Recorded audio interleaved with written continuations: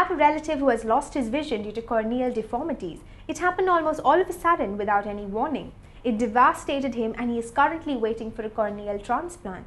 I would like to know how a corneal transplant can help him and how to go about it. To take care of that, we do what we call as cornea transplantation.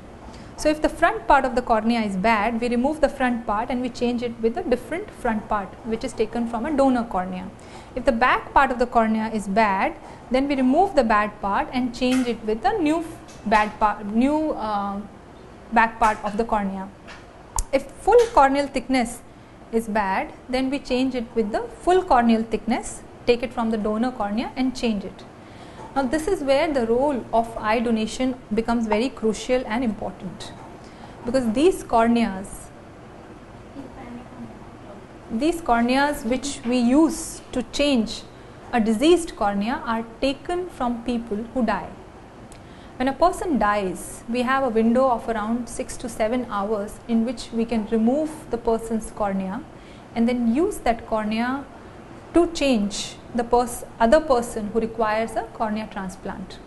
So, you know, this is the beauty of eye donation that when one person dies and allows their eyes to be donated, then that person actually gives light to two different people because from each eye we can take a cornea and use it for two different people.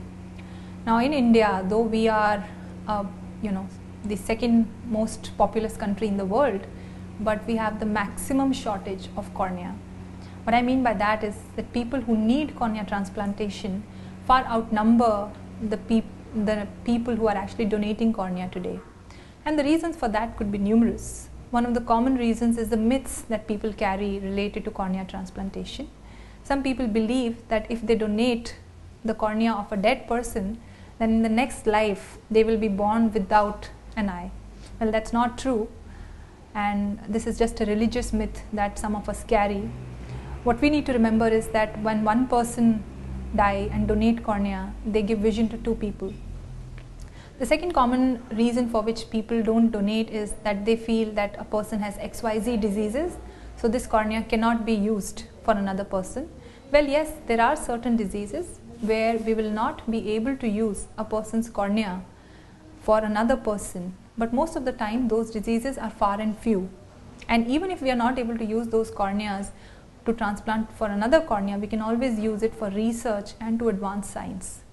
In India, we have rules around cornea transplantation. We should get permission from next of the kin. And I say next of the kin, it could be a wife for a husband or a husband for a wife. It could be son and daughter. It could be parents if there is a kid. So there is a permission issue that is required.